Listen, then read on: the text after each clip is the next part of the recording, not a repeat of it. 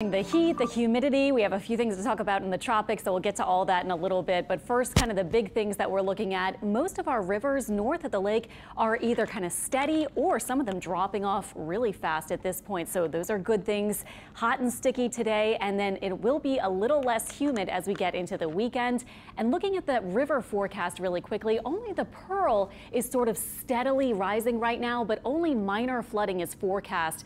It might be until next week that it stays kind of highish and then it begins to fall maybe late in the week uh, next week. Other ones, again, the Tchefuncte, the Bogue Falaya dropping very rapidly now. The Tangipahoa is dropping upriver, but at Robert, it's still about steady. It's seeing really some of the highest, the major flooding, and it looks like even at Robert, it should start falling maybe sometime later tonight or more probable perhaps tomorrow and Friday. And then the Bogue Chitto also falling with minor flooding forecast there. So that situation should be improving for those of you seeing those high river levels on the North Shore. Temperatures right now Whew, 89 at Kenner, 92 at Slidell. And of course, we do have a lot of humidity. So we're seeing these feels like temperatures, unfortunately, for people without power, surging into the triple digits for a lot of spots. Now, there are a couple of kind of cooling showers, and I know in the second part of the day yesterday we had some storms around New Orleans that actually helped with the heat a little bit for the evening. But notice that we do have some of these happening as we speak, some of these showers and storms kind of in the wake of Ida, just kind of scattered about, especially farther south.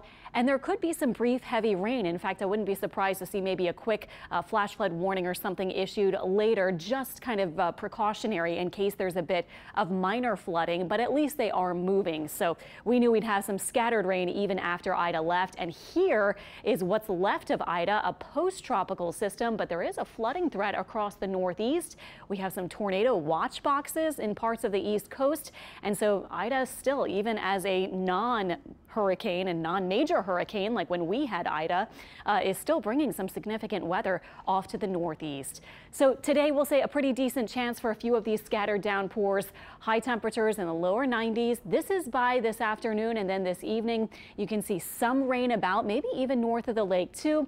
And then into tomorrow we still have a decent chance on Thursday for a few spotty or scattered showers but then looking at our upper pattern, we're going to see that low drifting away from us and drier air, slightly drier air filtering in for the weekend. So when we look at our dew point scale, hot and humid kind of conditions, the really high humidity is oppressive uh, range above 70 for the dew point temperatures, but models have been indicating our dew points falling into maybe the middle to upper 60s uh, for Friday, Saturday, and Sunday. So that wouldn't be too bad, at least a little bit of help uh, for those of us without power. Hopefully, hopefully more people by then, as we keep uh, hearing, will have more power anyway. But our tropical outlook, we have a couple things happening. The new thing is Tropical Storm Larry, which will likely soon become a major hurricane. Kate is kind of fizzling out here. And then, of course, the post-tropical uh, Ida. And then we also have this one additional area that we've been talking about. But uh, most models, first of all, it has a low chance of development, and most models are kind of bringing it into the Central America and kind of having it dissipate. So let me show you that one really quick. It's Invest 91 now really not very organized. Most of the rain is kind of on the northern fringe.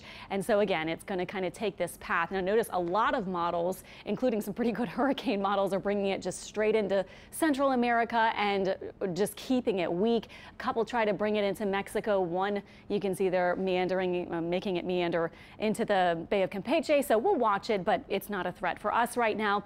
And then you might be interested in Larry. Of course, we're used to seeing big storms form out near Africa and sometimes come all the way into the Caribbean Sea. But in Larry's case, there's a big high pressure area here. And so it looks like it's going to be curving northward, kind of ahead of that sort of danger area for um, land areas around the Caribbean and eventually toward the U.S. and Central America and so forth. So this is Tropical Storm Larry's forecast path. And again, just looking at the models, even a couple days ago, they were showing maybe Cat 3 if you have it reaching Cat 4 status. But again, we are anticipating that more northward curve. So we'll keep our eye on it. Of course, we'll watch it. It's a tropical storm right now, but we are thinking that would be Larry's path. And just looking quickly at those hurricane season uh, names, look at this. We've already made it to Larry, 12 storms in, and the forecast for this season is 15 to 21 named storms. So that would be somewhere between Odette and Wanda. So you think about not even at the peak of hurricane season yet, which is September 10th. But again, if we see those forecasts hold, I guess we only have a few more storms to go. You can see uh, last year at this point we had had 13 named storms, and this year we've already had, uh, it looks like we will probably add another major hurricane. That would bring us to three if Larry does indeed become a major hurricane as expected in the next couple of days. Again, looking forward to the weekend, little break in humidity, those North Shore lows in the upper 60s, south of the lake lows in the 70s, but again, that slight break in the mugginess should feel pretty good for most of us. I think a lot of people are